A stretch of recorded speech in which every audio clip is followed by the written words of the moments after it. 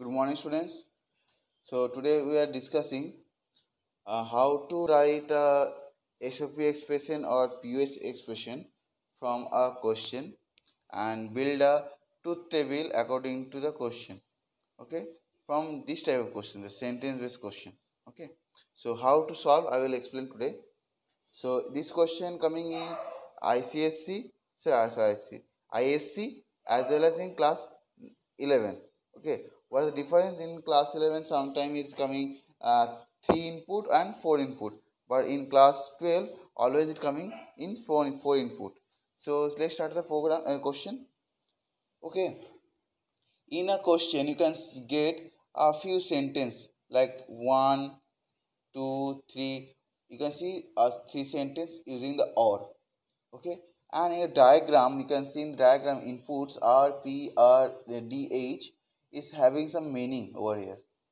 i will tell you the meaning after that you can see here the what is the use of this one indicate yes zero indicate no you can get this one and output is all written t t is your output okay and do not uh, allow uh, do not allow to travel one indicates yes and zero indicate no in all the cases means all the cases in one yes and zero no and now you draw the POS expression sometimes you can see POS expression and sometimes you can see SOP expression okay today I will tell you SOP and POS both okay if SOP is coming you pick the SOP expression if you POS expression is here so you take the POS expression but procedure is same okay and you can see here reduce TRPDH using KMAP this is only for class 12 only for class 12 not for 11 okay i will explain you that came how to solve the k map in my next video okay not over here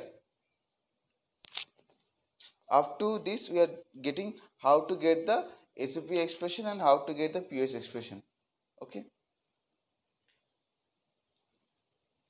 now so if you see the inputs are P, D, H is here. So simply first we draw the inputs. So question I am writing R P D H. So R P D H. Four input combination we are drawing. If is three input combination, you write only three, then you write the three combination. Which is the three combination?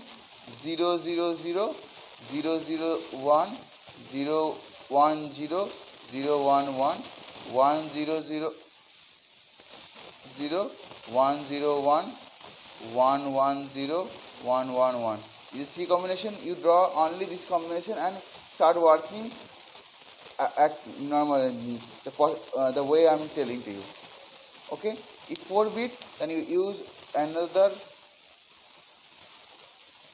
4 bit combination okay one zero zero zero one zero zero one one zero one zero one zero one one one one zero zero one one zero one one one one zero one one one one is the 4 bit combination okay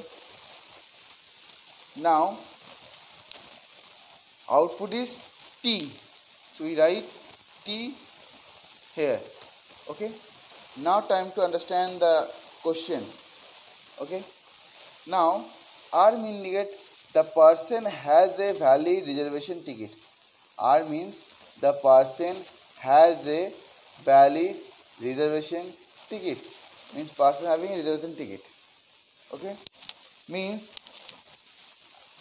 now uh, p is equal to the person hold a valid pass issued by the railway department. The person has a valid pass issued by the railway department. Okay, D means the person has a valid ID proof. The person has a valid ID proof. H means the person is a disabled person. The person is a disabled person. Okay.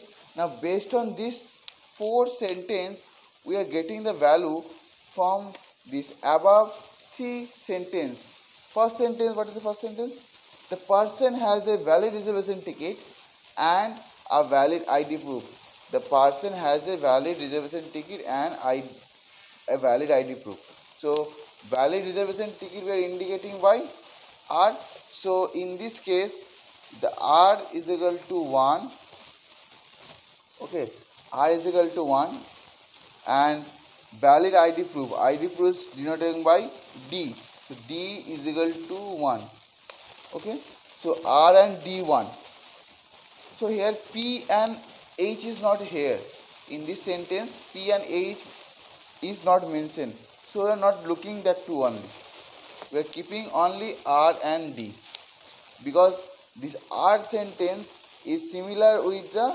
sentence provided by the question here the sentence r value is matching so we write 1 if not matching then we write 0 if here is written the person has not a valid reservation ticket then we write 0 because r means having a reservation ticket okay so both are satisfied so we write r is equal to 1 d is equal to 1 now how we put 0 on over here how we put okay for in this case sorry for inconvenience in this case whenever we are getting uh, r1 d1 in the same line we are putting 1 from here r and d not 1 not 1 see in this case all r are 0 so you are not looking into this we are looking from here because here all are 1 now after looking this one, you can come to D. In DC1, 0, 0, not. So here 1, so we are putting 1. Here also 1, we are putting 1. In this case, R1, D1, put 1. R1, D1, put 1. Then wait for next sentence. In my next sentence in here, you can see a person has not a valid reservation ticket has not a valid reservation ticket means r is equal to 0 okay not full not that's why now, but holds a valid pass issued by the railway department is having a valid pass by the reservation department railway department so p is equal to 1 because P is matching the sentence with the previous input sentence. So P is equal to 1. And last you can see here with a valid ID proof. So valid ID proof means D. D is equal to 1. So when you see value of R0, P1 and D1 in a same line, we are putting 1. So where R0 means up to this, not here. So we are coming in with this portion. So P1 and D1. So P1, where is the P1? So here R value 0, P value 1, D value 1. So we are putting 1 over here. R value 0, P value 1, D value 1. We are putting 1 over here. Okay. After that we come into the third sentence the person is a disabled person means age so we write H is equal to 1 next in sentence uh, same sentence and hold a valid pass issued by the railway department so Issue power divided by min P is equal to 1 and a person is disabled person hold the valid ID pass is by the disabled requirement along with the valid ID proof. Valid ID proof means D is equal to 1. See, whenever you get H1, P1, D1 in the same line, we put 1. So, see, where is H1, P1, H1, P1, D1. So according to the sentence, this line I'm writing P H P sorry P D H then one one one. Both are one. So both are one in one cases. Here when, once you see the one is present, one is present, don't need to write again. Okay. We stop.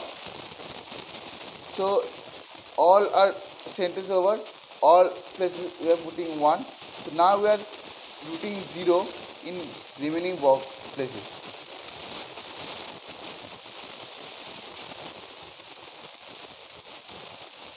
Okay, remaining places we are putting 0.